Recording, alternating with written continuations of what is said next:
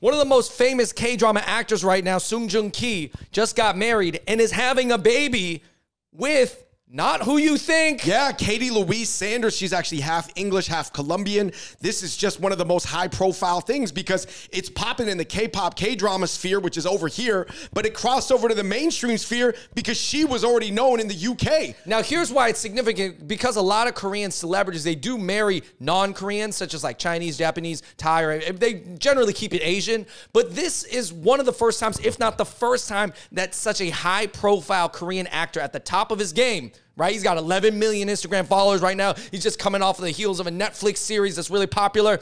He's marrying a non-Asian. Right. So make sure you like, subscribe, turn on your notifications. And yeah, we're gonna talk about the implications for I guess like Asian dude status in society, implications for the Korean pop or Asia pop industry in general, and what are the implications for just like the K-pop, K-drama fandom world, you know, because it's so hyperactive and obviously, um, yeah, it's just a thing right now on the internet. Andrew, let's get into some of the reactions. The first one was, and this is from the Western world, by the way. Wow, he is so great in all his films. Yeah, he's in a Netflix series, so people have seen him before. I hope that you're watching the series not dubbed though. It's better in Korean, guys. Just read the subtitles. Another comment was like, "Oh my gosh, I am so worried about all the toxic K-pop fans. I don't know if they're going to accept him." They were saying she wasn't a celebrity. They were saying that she had two children. There was all these rumors swirling around like he could do better. He should have kept it Korean. He should have uh, did this. He should have did that. Hey guys, uh, the netizens will always say what you think they're going to say. But I, uh, there was even rumors that the Korean media was saying that she was a non-celebrity. Now, she is not the biggest celebrity, but she did appear in a number of movies. A lot of them in uh, they took place in in Spanish or Italian or in Britain. So that's why. So she's multilingual. She so, speaks a lot of different languages. So that's why she's not really known to us or definitely not known to Korea. Well, that's shout why. out to Kathleen Louise Saunders. Somebody said, oh my gosh, their kids are going to be so gorgy. Gorgeous. Right. The uh, good old gorgeous Hapa stereotype. Yeah, I mean, no, I mean, they, honestly, they have a very high probability, but never it's never hundred hey, percent hey, hey, of being pretty good. No, looking. no, no. I will say, looking at the two parents, the two parents are pretty good looking. Yeah. Um, this other comment was like, I love Korean shows. You know, I know your average Korean in just Citizen isn't as gorgeous as these K drama actors are, but I just love the show so much. They're so uniquely crafted from other media on the marketplace. And the most important thing is they never try to push a political agenda. They're just love stories.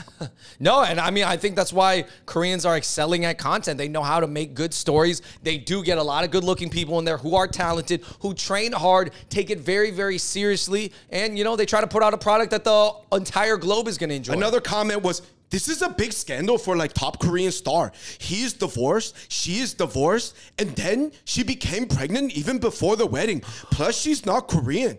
This could be a scandal to some fans. And somebody else said, calm down. It is only a scandal to like the most toxic 20% of the fan base. The other 80% is either neutral or happy. Stop making it such a big deal. All right, so I will say this that uh, Koreans you know, oftentimes, usually they are known for keeping it pretty pure Korean. You know, they do take a lot of pride with marrying other Koreans, uh, at least like of the older generation. I don't want right, to say right. our generation, but of like the 40 and ups. It's a small group of people. They yeah. want to uh, keep their small group. Yeah, yeah, They, they would kind of sound. It would kind of sound like that. So I think that's where it's kind of coming from because now they think if he does it, well, that means other celebrities are going to oh do it. Oh my gosh! What if everybody just like follows his example? Like Song Joong Ki is like breaking open the door for like so many like interracial baby and like Koreans. Um, of course, in the Western world, Andrew, as far as like the Western world platforms go, there were some disses on him saying, uh, "Oh my gosh, I wonder if they've seen each other without makeup on because I know he's like one of those K-pop, K-drama flower boys. They love wearing makeup, makeup, makeup." Um, another one said, "Yeah, she looks like she adopted one of them little Korean kids. That's what it looks like." Um, this other guy Jeez. said he just looks like a she, you know. And of course, Andrew, we got to acknowledge this goes to the Western world stereotype that a lot of Asian men, particularly like the pretty, delicate Asian men, they a lot of Western people when they diss Asian guys say that they like look like they lack testosterone and have high estrogen. And you know what's funny is I feel like as a K drama actor, he's doesn't look that feminine, but he looks very masculine if he was like a K-pop star. K-pop stars generally look a little bit more feminine and softer, yeah, than the K-drama guys. I would say that he just happens to have really, really sharp features to the point where almost like very like in terms of sharpness of feature, he's in the top one percent of guys of like any no, look. What I, I think what they're also pointing out to, uh, because her face looks like a very like Western woman. So usually sometimes when you see like a non-Asian woman marry an Asian guy, maybe they have like, you know, both like look young. But since she looks like just like a regular Western person and then he looks like to them like a softer Asian guy, you know what I mean? I don't know. Yeah, I know what you mean. It's just uh it's difficult to describe. But moving on, um, basically somebody said, uh, am I supposed to know these two?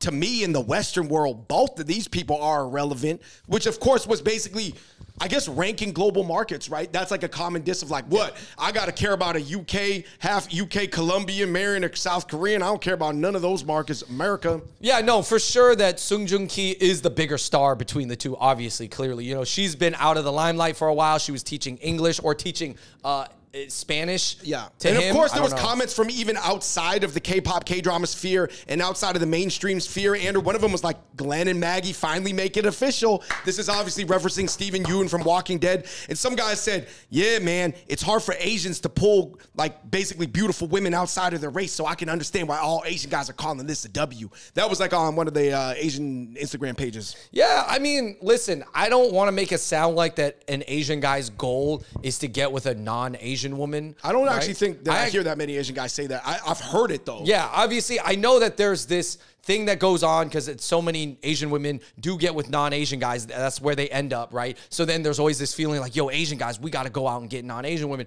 Well, it's happening. Now, it is interesting that he's not even Asian American. He's like from Asia, Asia. He's from Korea. So now I'm trying to think like, do you think it's going to inspire other Korean actors maybe to do something similar? Like, he kind of made it okay, is what I'm saying.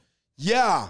Um I think so. I think it could be a trend to go more international as like K-pop is building up all these like gigantic internet fan bases in other countries. One thing I've noticed though is that even like in Latin America, even though there's a tremendous amount of the youth girls that like K-pop, their traditional media gatekeepers are like slow to slower to accept it on like sure. you know the top billboard pop charts and, For sure. you know the shows that are the gatekeepers um and we got to go through some toxic comments from the korean internet the only reason i bring these up is because there was like a lot of articles translating them so you know we just got to talk about what the, the fan You bases mean, are you saying mean even uh, some people were being very critical and hating on the situation? yeah somebody said yeah i like give them one year he has everything he has like everything but he doesn't have an eye for women And some people are criticizing it because she's 38 years old. He's 37 years old. So she is a little bit on the older side, but they're about to have a kid. I mean, she's still good looking, but. Right, and obviously there was that uh, rumor that she came with two children. So somebody said,